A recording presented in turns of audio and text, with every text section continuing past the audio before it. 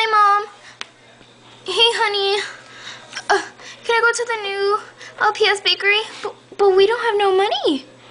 Uh, uh, but, but some friends invited me. Do you know them? I barely met them and they look great. Fine, honey. Go with them. Okay, thanks, Mom.